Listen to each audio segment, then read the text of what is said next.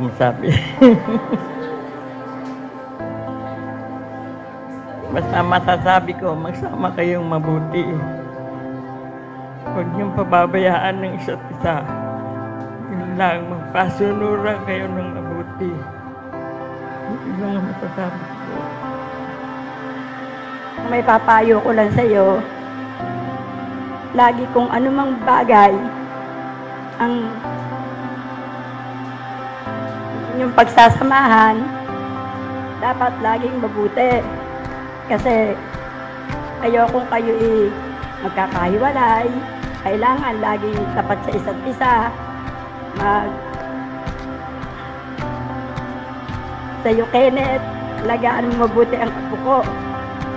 Kasi matagal na namin eh. Gusto ko, mahalin mo siya. Tulad ng pagmamahal mo sa mga magulang mo nang higit pa. Doon. Salamat po.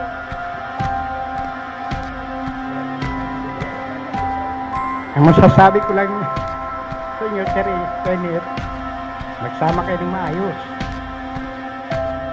Ah, hindi ko naman sinasabi na ang pagsasama ng mag-asawa, pag walang kaunting tampuhan, ay walang sarap ang pagmamahalan. Kaya Kenneth, alaga mabuti sa Taris. Ingatan mo at yun naman Taris. Ingatan mo mabuti si Kenneth at lalo na sa inyong magiging anak. Sana igawa niyo kung isang dosen ng apo. Yun na po, salamat po.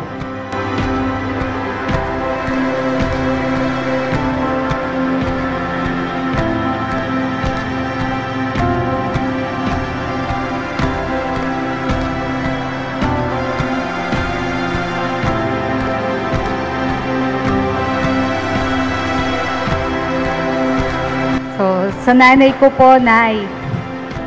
Nasaan ka? ano ba?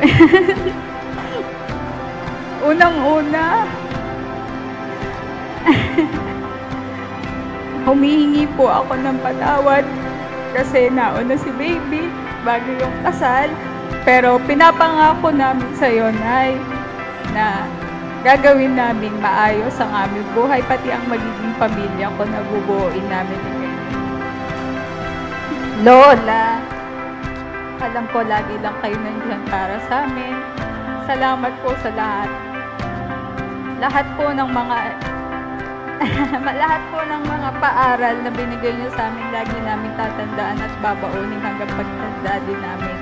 At ganun din po ang gagawin namin sa mga magiging anak namin, sa pamilya na tatagulin namin. Yun lang po. Maraming salamat. Maraming maraming salamat at binigay mo yung lahat ng pangangailangan ko. Tsaka hindi mo ako pinabayaan. Lalong lalo sa sa lola ko na nagpalaki sa amin. Maraming maraming salamat lang.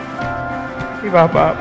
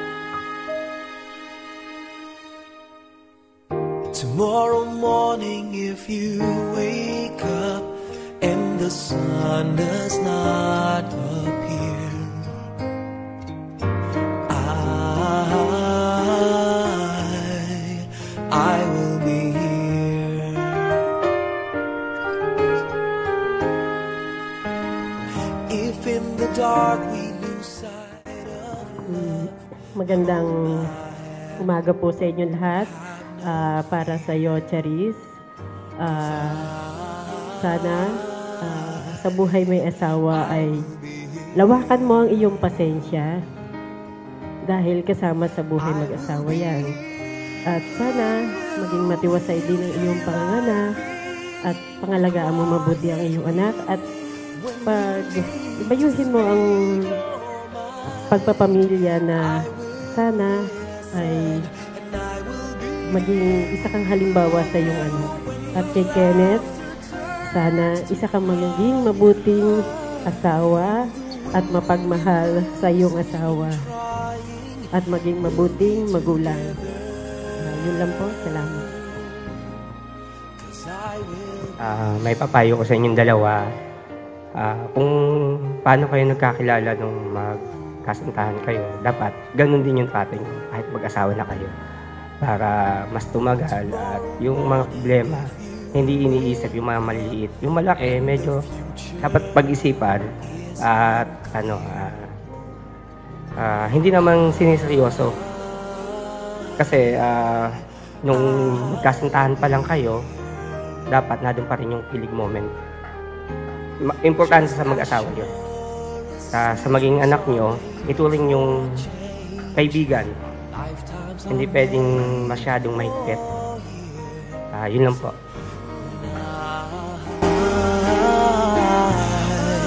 I will be I will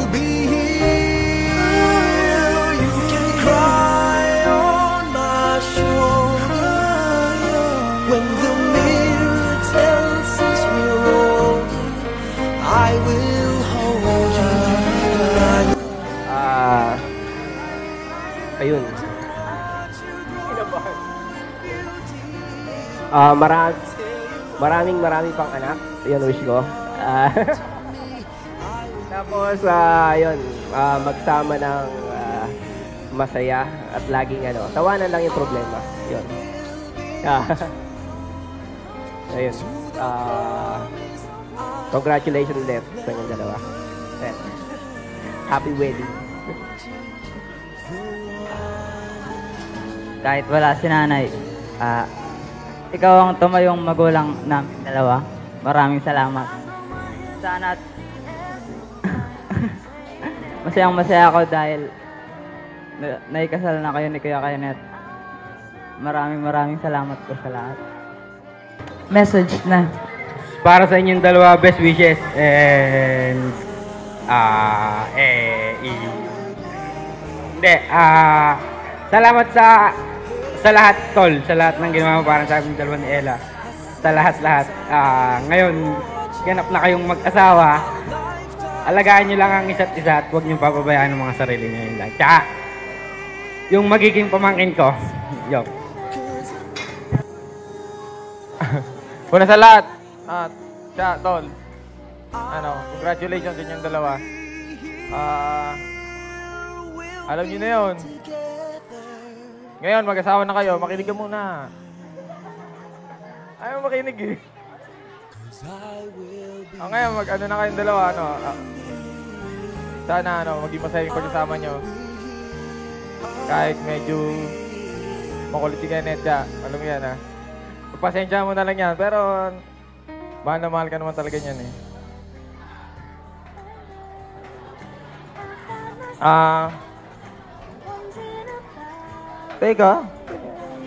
Basta yun na lang, ano, tol. Siya. Congratulations dyan yung dalawa. Saka sa mga, yun na. Baka mayak pa. Sasabi ko lang sa inyong mag-asawa, sana hindi mawala ang inyong pagmamahalan. Lagi kayo Lagi kayo nagkakaunawaan at iwasan ang mga kung ano mang bagay na hindi nyo pagkakasunduan ay kaya naman pag-usapan. yun lang, naiyak. Ma, wala lang kayo, um, lagi na lang kayong magdasal sa Diyos na sana maging maganda inyong magiging buhay kasama ng iyong magiging anak. Sana hindi mawala ang pinaka importante yung pagmamahalan nyo, pag-uunawa sa isa't isa. Kung may problema, mag-usap para nagkakaintindihan. Salamat. Ah, magandang hapon po sa atin lahat. Ang akin lang masasabi at talagang itatagubili sa aking mga pamangkin. Sana ay magsama ng maayos at laging pagmamahalan at laging pag-uunawaan para sa susunod na mga pagkakataon na binubuo nila ang magandang pamilya ay nakita sa kanila ng mga anak nila ang talagang masaganang pagmamahalan tungo sa kanilang iuunlad ng buhay. At bahagi lang po ng aking kaprasong kwento eh, hindi ko po na memorya ito eh, padala po sa akin ng kapatid ko. Eh, sa, babasahin ko na po.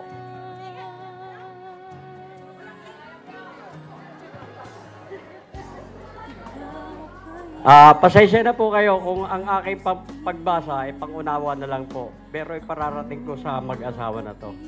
Ito po ay dala ng liham ng kanyang mama. Kaya ko to eh. Ito po ang kanyang mensahe sa mag-asawa. Congratulations mga anak ko and best wishes. Pasensya na sa inyo, Kenneth. Wala ako sa tabi mo. Ngayon ako, ngayon, sa totoo lang, sobrang siya naman kahit nga sabihin kong malayo ako sa inyo. Nag-uumapaw sa kasiyahan dahil nakita kong naibigay ko naman sa inyo ang best para sa inyo. Kaya ko to eh. Basta lang, i-promise mo na maging responsable kang maging res- responsable ka sa sarili mo. Higit sa lahat, sa magiging pamilya mo. Mahalin at alagaan mo sila. Katulad ng pagmamahal ko sa pag-aalaga sa iyo. Higit sa lahat ng iyong lola, Lilia. Mahal na mahal kita. At sa iyo, Charis, sabi ko sa iyo, ikaw talaga yung forever ng anak ko. Napaka talagang masaya tayo. Kaya ko to! Maraming salamat sa inyo. Pagyamanin at mahalin ninyo ang magiging pamilya ninyo. At huwag kalilimutan palagi magpasalamat at tumawag sa poong may kapal. Mabuhay ang bago kasal!